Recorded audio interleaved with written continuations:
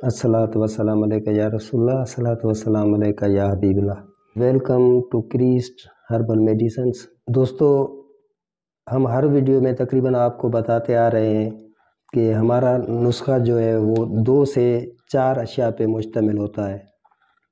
और 80 परसेंट हमारे जो नुस्खा जाते हैं वो सन्यासाना है। इसमें कोई लंबी चौड़ी लिस्ट नहीं होती।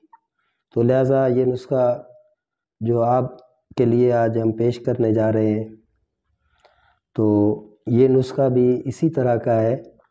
और तकरीबन ऐसा नुस्खा आपने कभी किसी यूट्यूब या फेसबुक पे नहीं देखा होगा। नए आने वाले दोस्तों को भी वेलकम करते हैं। जिन्होंने हमारा चैनल सब्सक्राइब नहीं किया तो वो क्रिस्ट हर्बल मेडिसन्स चैनल हमारा सब्सक्राइब करें और बेल आइकन पे क्लिक करें। हमारी वीडियो देखने के बाद आपको अच्छी लगे तो दोस्तों से शेयर करें, लाइक करें, कमेंट्स करें। और ये हमारा व्हाट्सएप नंबर भी आ रहा है तो कोई बात समझ में ना आए तो आप बिला झिझक इनबॉक्स हमसे पूछ सकते हैं। तो दोस्तों, आजकल तकरीबन आपको यूट्यूब पे फेसबुक पे जो भी वीडियो नज़र आएगी कुत बा के लिए, मर्दाना ताकत के लिए, कि टाइमिंग बढ़ेगी, ये होगा, वो होगा वो होगा लेकिन आज मैं एक आपको ख़ास बात बताता हूँ, जो शायद आपने कभी किसी चैनल पे ना सुनी हो या कहीं पे आपको इसका पता ना हो। तो नाजरीन कराम, ये मर्दाना क़वत की कमी जो इसका सबब क्या है? हम उस सबब सबब पे जाते नहीं है कि भाई दवाई फ़लान दवाई मर्दाना क़वत की है, ये दवाई मर्दाना क़वत की है। असल में आज आपको मैं डिटेल से बताता हूँ कि इसका सबब क्या है। उस सबब को आप ख़त्म करें तो कुत बा इन आपकी बढ़ जाएगी। असल में हमारी गज़ा जो है, सारी हाई बर्ड है और प्रॉपर गज़ा हमें नहीं मिल रही। खा तो रहे हैं हम, ठीक से खा रहे हैं, फ्रूट, फल, सब कुछ हम खा रहे हैं। लेकिन हाई बर्ड होने की वजह से वो जो अज्जा हमारे जिसम को, जिनकी ज़रूरत होती है, वो कंप्लीट नहीं होते। तो इसमें क़वत मर्दमी की कमी जो होती है, असल उसका मसला होता है कि मादा मनविया, यानी जो मर्दाना जोहर होता है, वो कम हो जाता है। या तो पतला हो जाता है या कम या कम हो जाता है। जब कम हो या पतला हो तो पीछे से प्रेशर जिसको हम कहें, क्योंकि कोई चीज़ आ नहीं रही है तो फिर वो क्या महसूस कराएगी? तो वो चीज़ जब ख़त्म हो जाती है या कम हो जाती है तो फिर ये मसले होते हैं। अभी हाथ में कुछ है नहीं तो कैसे हम खर्चा करेंगे? कैसे हम मार्केट में जाएँगे? सेम इसी तरह हमारे जिसम में वो ताकत है तो मर्दाना कुत है। वो चीज़ें नहीं है, वो अज्जा नहीं है तो मर्दाना कुत भी नहीं है। तो ये मेन मसला है जो किसी ने इसकी तकरीबन वजाहत नहीं की है। तो आज मैं इसको आपकी वजाहत समझाता हूँ। तो इन आपको हमारी वीडियो बहुत पसंद आएगी। आप ये करके देखें, ख़ुद अपने हाथों से बना के देखें। तो नाजरन करम, इसमें इसमें भी चार अज्जा हैं। तो ये पहली चीज़ आपको हम दिखा रहे हैं।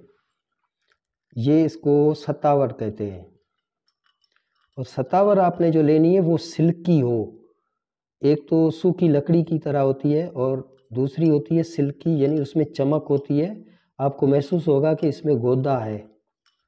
इसमें जैसे रस हो, लेकिन ये खुश्क होती है। अभी सर्दी का मौसम है तो ये खुश्क है, लेकिन इसमें चमक हो और भारी हो वज़न में। आप हाथ में उठाएँ तो आपको महसूस हो, ये देखें, आप करीब से इसको अच्छी तरह चेक कर लें। इसी तरह की आपने सतावर लेनी है।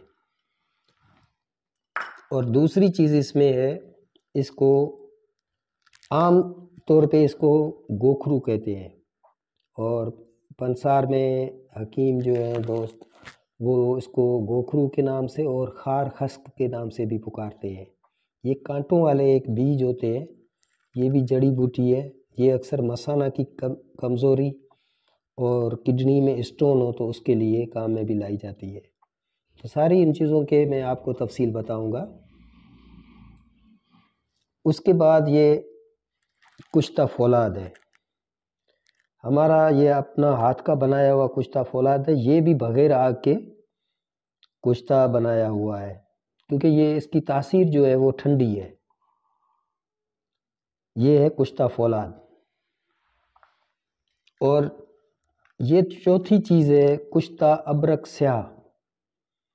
काली अबरक जो होती है उसका कुश्ता बनाया हुआ है। अब आपकी ये दवाई सारा डिपेंड करती है इन दो चीज़ों पे।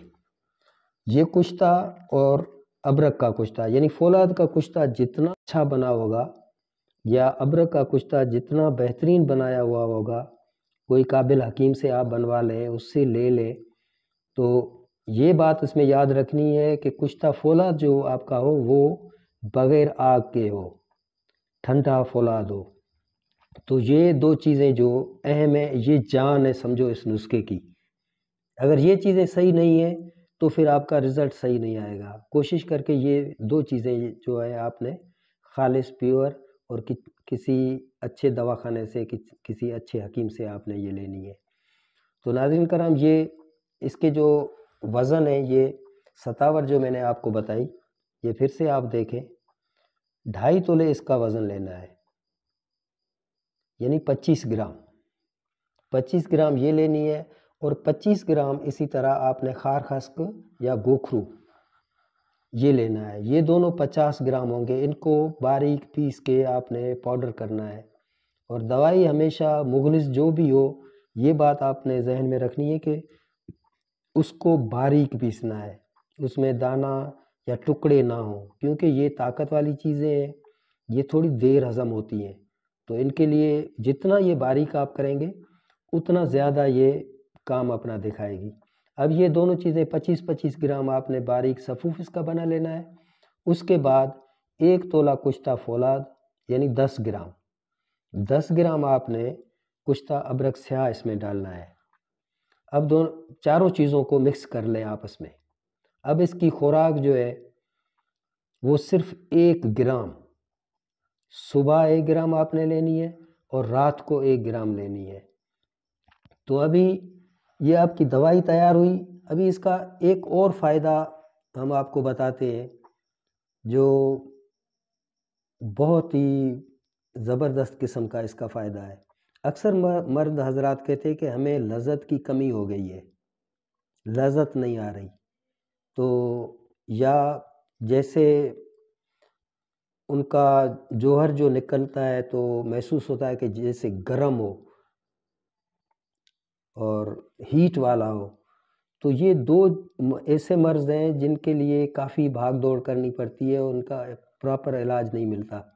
तो इसी एक ही नुस्खे में आपका ये सारा मसला जो हल होगा।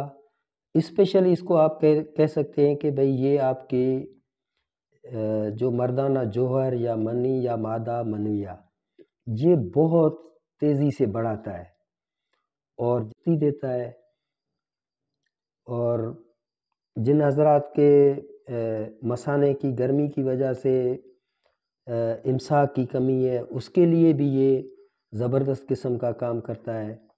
तो फिर से रिपीट करते हैं आपके लिए कि ये दो चीज़ें कुश्ता जो है ये दोनों इस नुस्खे की जान है।